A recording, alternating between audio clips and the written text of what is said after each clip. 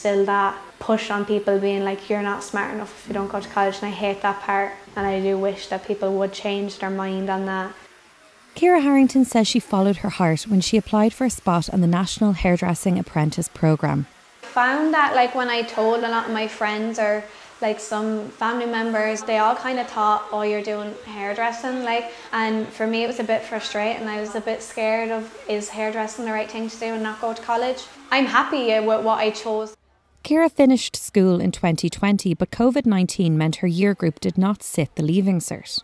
Predicted grades did help so much when it came to me because I didn't have the confidence to sit a leaving cert. Even my mocks, I I couldn't make it through them. I had teachers coming into me trying to get stop me from having panic attacks, and I was there crying like on my paper, being like, I can't do this. I wasn't a book person. I am more creative. I'm doing my job and learning at the same time, and I'm still enjoying both. The Hairdressing Apprentice programme launched in 2019, and there are now 339 apprentices enrolled.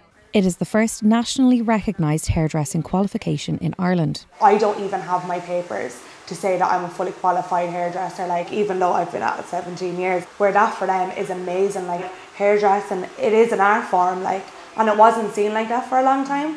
So it's amazing now that there is actual documentation when you're coming out that you've put in your time. There are currently 25,000 apprentices in Ireland across 72 programmes.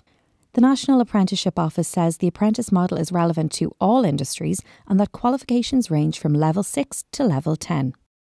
Ciara is now in the second year of her three year course. She is glad she trusted her gut. Even if you don't think you can succeed, sure, what's the worst in trying, really? And a lot of the people that kind of doubted me at the beginning now want me to do their hair.